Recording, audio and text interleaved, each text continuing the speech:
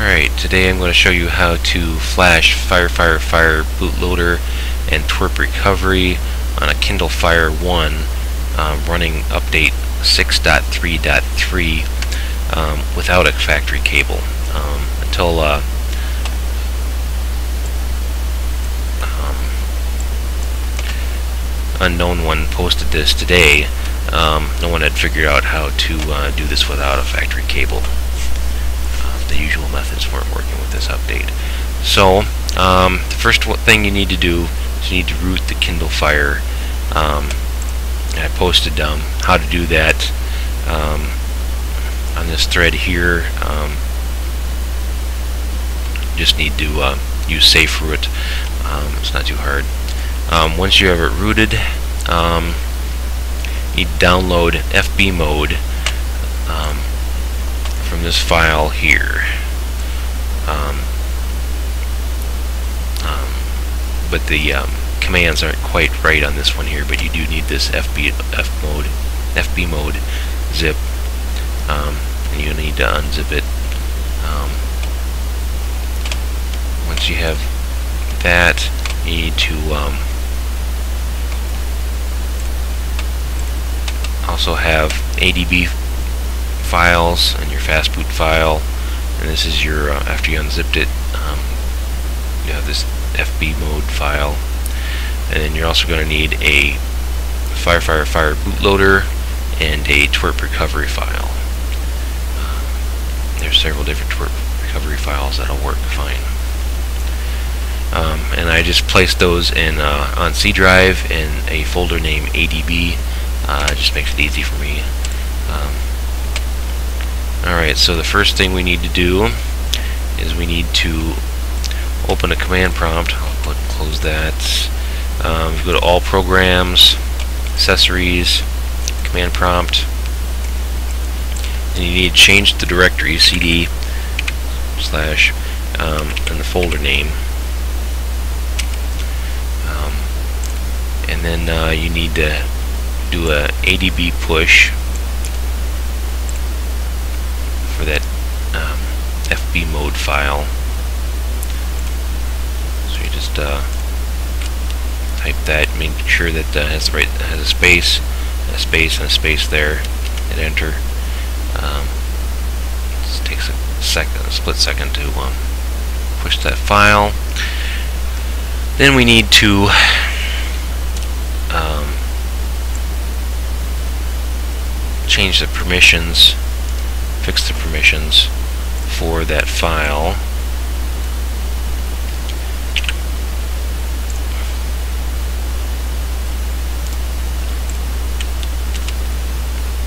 And um, I should have done it.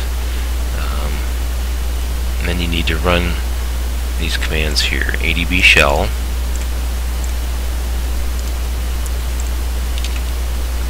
And then SU and then uh, cd space data.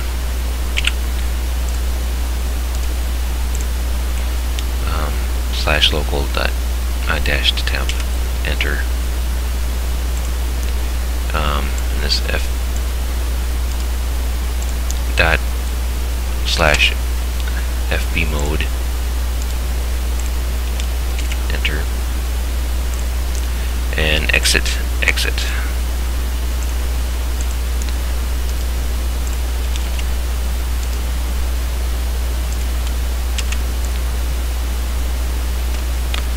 Okay.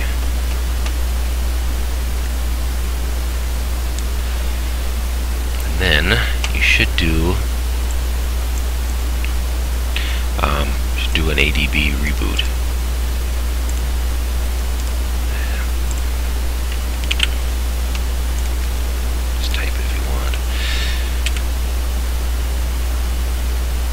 Now, the Kindle is going to reboot to fastboot mode. mode. Um, and it'll stay there, um, not sure if it'll stay there indefinitely, but it'll stay there for several minutes anyways. Okay, so now we need to find my commands.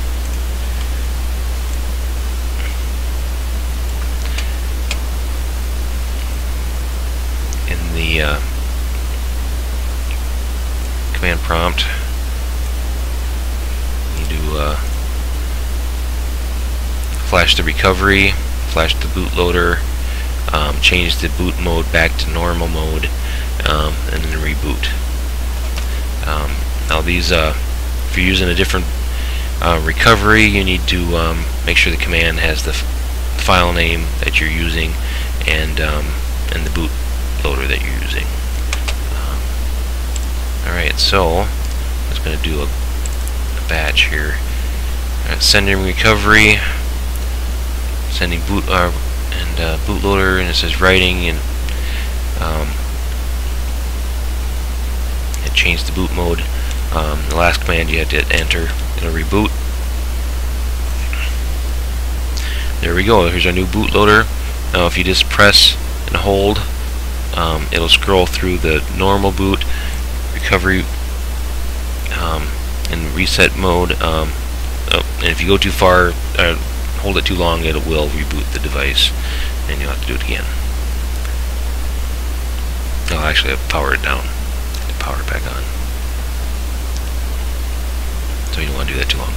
But you just have to hold the button down and then release to select the, the option you want. I select recovery, show you what it looks like.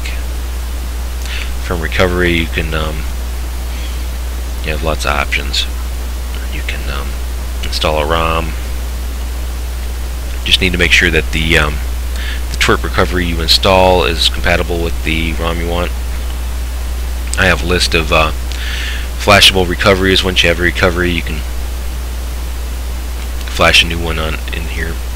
Um, just using the install um, select the file you want.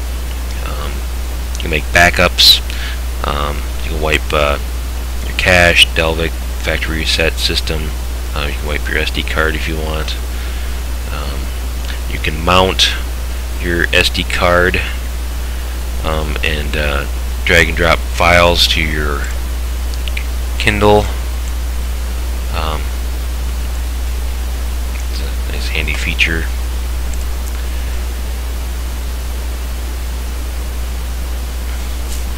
Alright, now you have your Fire Fire Fire bootloader and your TWRP recovery. Um, now if you want to reboot to um, stock system, it's just that easy. Close your command prompt and that was it. Just take a moment to um, finish booting and you'll be back, back at stock um, system versions 6.3.3